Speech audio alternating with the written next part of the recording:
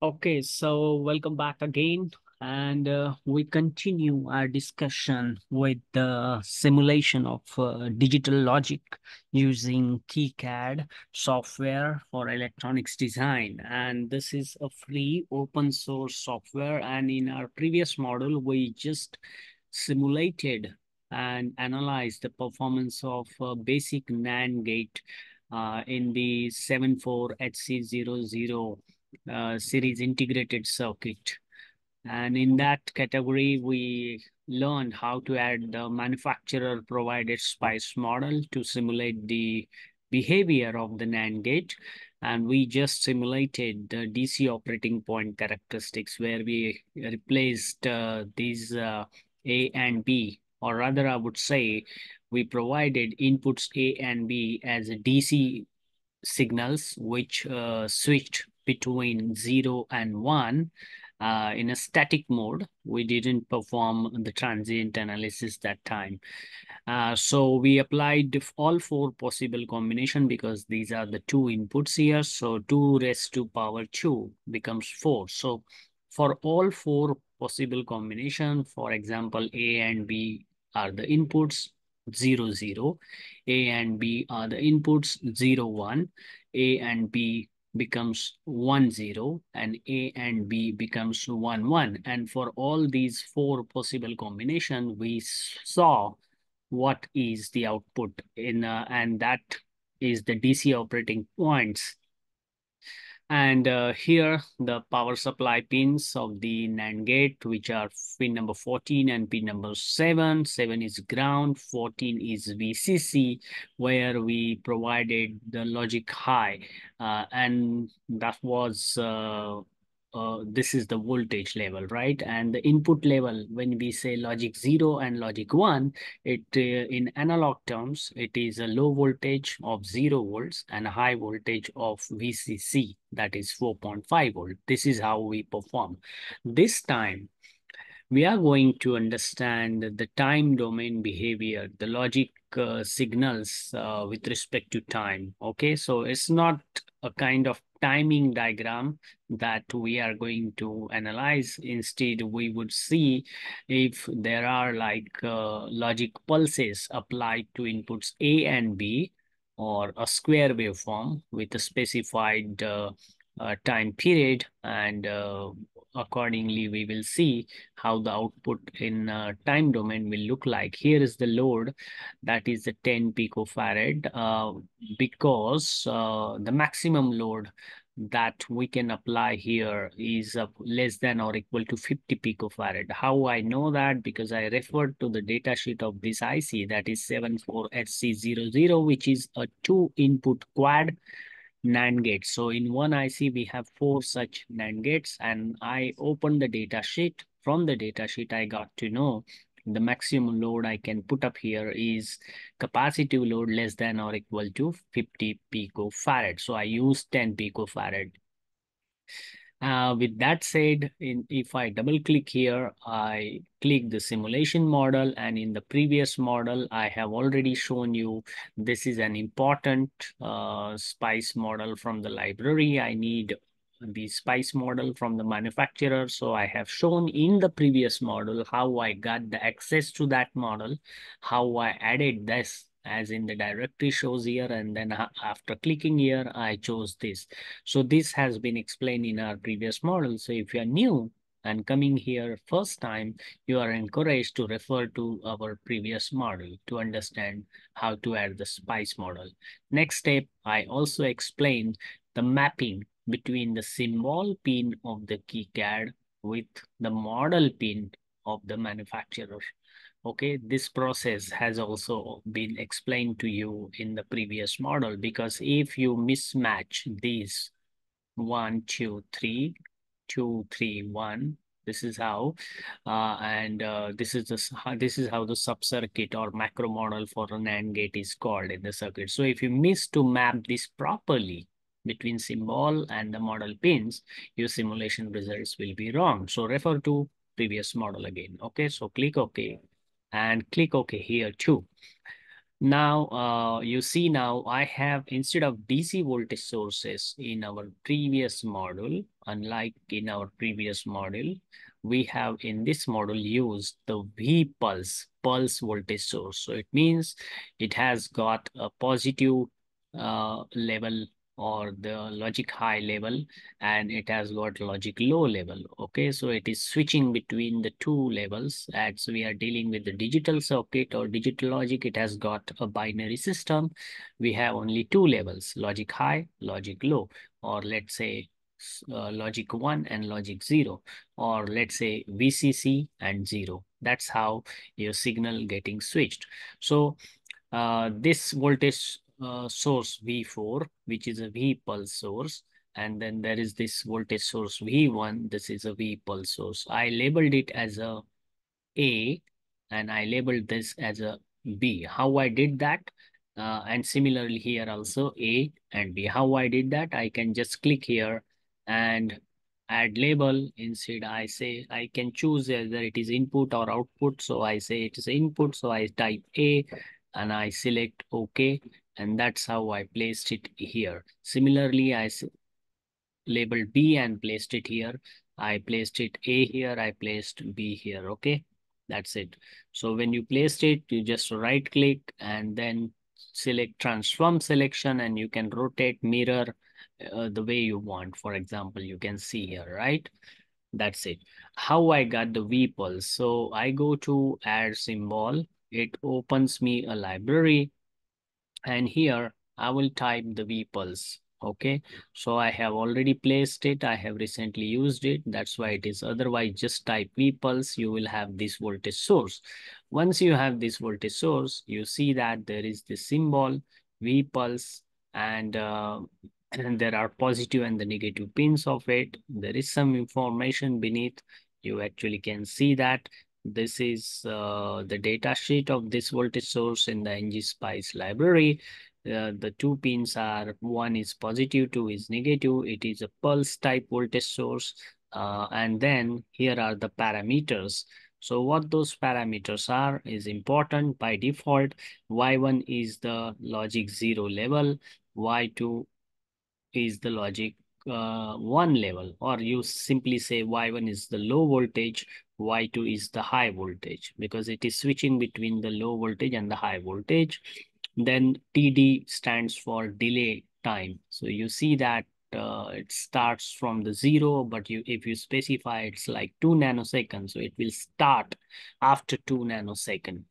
The TR stands for rise time. So rise time is this this positive pulse. Uh, it is taking the signal to go from zero to one or low voltage to high voltage, the time it takes is the rise time.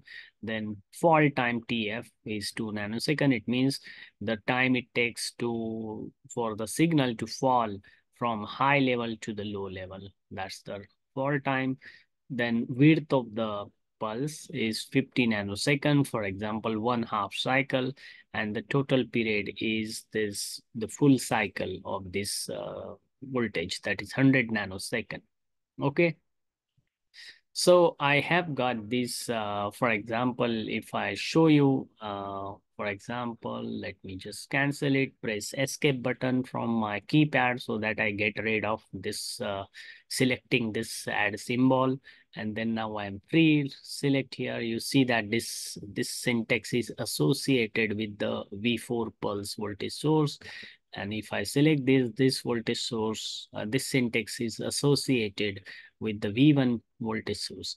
Now look at this.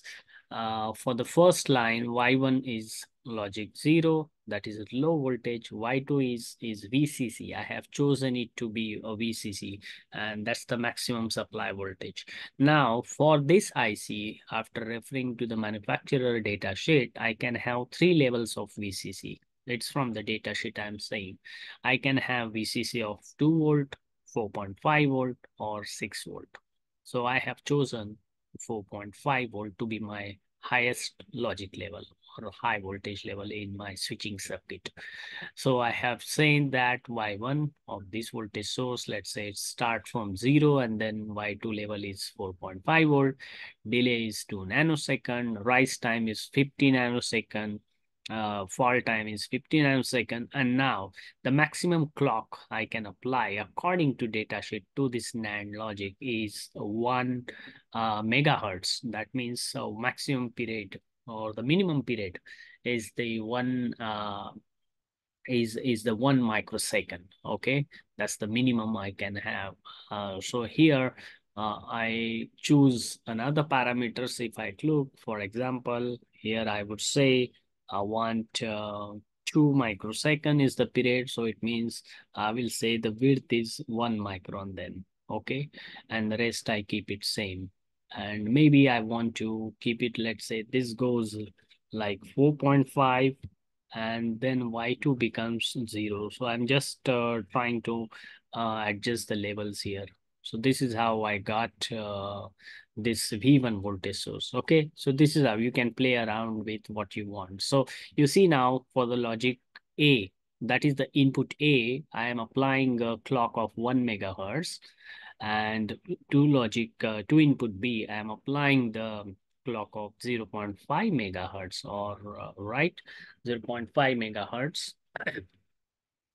um, so uh, with that said, uh, this is how you know that uh, this is the power rail uh, symbol and uh, power flag, why we use it, how we use it. We, we have explained it in all previous models, so refer to that. Now we are all set to simulate the time domain behavior of the circuit. So logic here is the Y is my output, or I can say X, Y, Z, whatever and the 10 pico is my capacitance. Okay, so just let me save this here. Once I save it, what I will do, I will uh, first go to electrical rule checker, but we have done that before. So, but still, let us click it. Uh, earlier, I have done it, so it shows zero error. Again, I will run ERC and see if there are any errors warning I can just ignore. It just says that symbol U1 has input pins, uh, unit B, C, D, uh, not that are not placed because in our previous model, we have sh shown that in the 74HC IC, we have got total five units. So unit A is placed here, unit E is placed here, but B, C, and D are not placed. And that's the warning it is issuing. That's it. So here also unplaced part B, E, C, and D. So if we want it in future, if we want multiple NAND gates, you can use them. Then these warnings will be automatically, excuse me, automatically gone. But look at the errors are zero. You don't really have any error. That's what you want for a perfect and accurate and right simulation. Click here. There is some uh, ignored the spice model issue. There is no spice model issue here. So it has been ignored. Close it. Now you can click here, run simulation right over here. And now you have to choose first, let's say, a new analysis. Obviously, you don't want to do the DC operating point because now you are dealing in a time domain. You are performing a transient simulation and you want to see how your logic signals for the input and output uh, are behaving with respect to time. And you have uh, time domain signals. So select transient analysis. Now the time step. Uh, the maximum uh, time you have like the final time for example let's say 10 micron and here you can say 0 0.1 micron that's what I want. I can see these two optional, so I leave them like that. Click OK. Once I have that, I have got V of A, that is input A, V of B, input B, and uh, where is my output? V of Y is my output. These three I am interested in. Okay, so I will click run simulation. You see the simulation is being run. Your sub-circuit of the NAND gate is getting delayed. So here, the important point uh, that you can see here, there's the voltage versus time we are going to plot. So let us plot input A. So you see now a very clean waveform switching between 0 to VCC, which is 4.45. Is that 4.45? Yes. And uh, between logic 1 and 0. And if we see that the B is just reverse, uh, and then there is little bit discrepancy in the rise time and the fall time of it. So when your A input is high, B is low.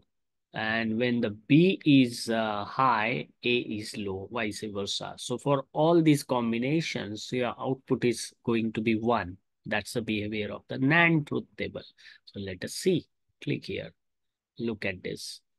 Your uh, you you you you see that if you zoom in this particular portion, the green is the output. So when you say that output is high because uh, one of the input is zero, then output is always high. And here the green is zero because at this time, both inputs are logic one. So if you want to check that, just unselect the output and you see the red is high, the blue is high. That's why you have got, if you click again, the, the output becomes zero. Here also again, if the one of the input is low, output is high.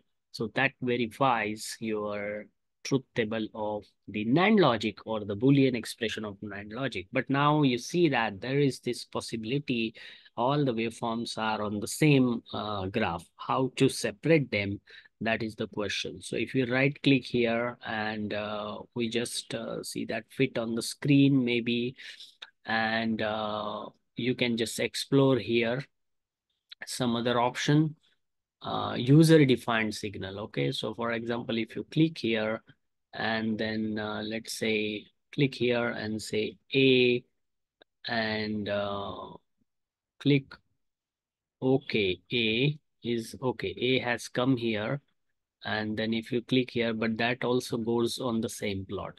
So it's up to you. I leave it as an exercise for you. Just refer to that uh, uh, trick to how to plot the signals on different uh, levels. So it's like uh, you I, I will show you how to do that. For example uh, let let me show you that uh, right here so you have to make sure that you get all your signals on different plots. Okay, so I leave it as an exercise for you or we'll do it or cover it in some other sections.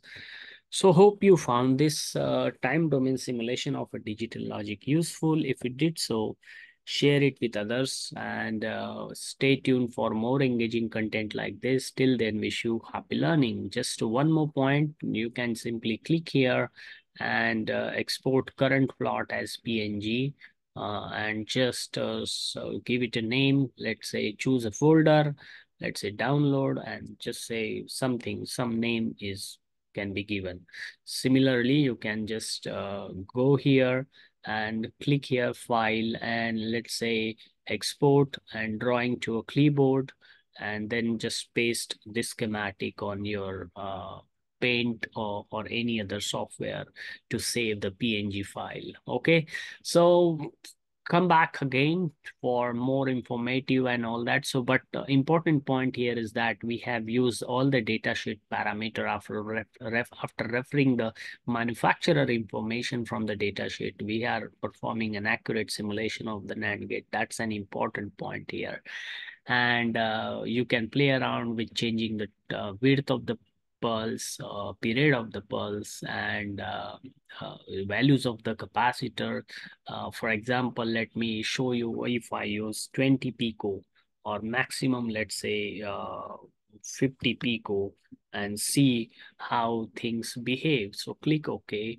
Uh, let me unselect this and maybe I have to run simulation again and see how the waveform will behave and look like Mm-hmm. so it's mostly same okay? So that's how you can do it. Okay so come back again. Till then wish you happy learning